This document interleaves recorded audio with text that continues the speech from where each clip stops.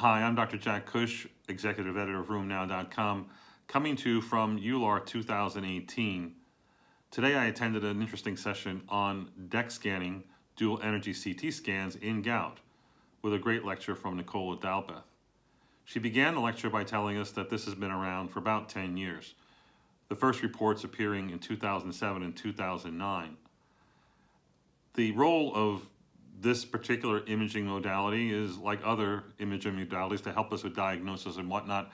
But she believes that the role of DECT scanning is probably most important in diagnosis, especially where diagnosis is difficult, and also in the assessment of disease activity and or disease complications. It is not necessary to be done for most patients who have clear tophaceous gout, but it may be necessary if you feel that gout could be responsible for the complications a patient is exhibiting and whether you want to see if tophi and urate deposits may in fact be this, the cause of that. Interestingly, she, sh she showed us that the resolution of the lesions that can be found by DECT scanning can be as low as 0.01 uh, square centimeters. So it's really quite small.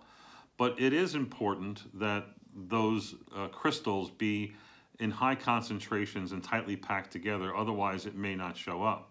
So there may be negatives in patients with gout, and there may be also be false positives, including artifact from, mo from motion and whatnot. Uh, thick skin, for instance, might be an, another reason for this.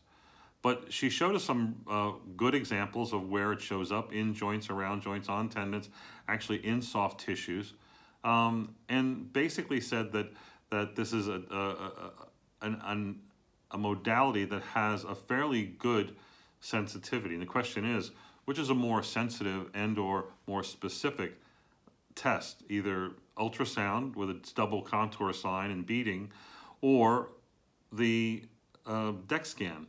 And an analysis that she showed that um, between the two, um, I'm looking at the data here, ultrasound, ultrasound, DECT, ultrasound, DECT, DECT, DECT, ultrasound, and DECT, and DECT. It's split as far as sensitivity. When it comes to uh, specificity, they're both pretty good. Maybe a little bit better with DECT scanning, but these are both, you know, highly sensitive, highly specific um, modalities that can be used. Obviously, ultrasound's a lot cheaper, a lot easier, a lot more portable, uh, and has no radiation.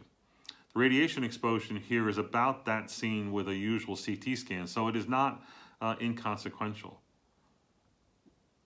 So the question is, uh, is this going to be the new standard of care, or is this still a research tool or one that can only be used uh, in, um, in the management of difficult patients?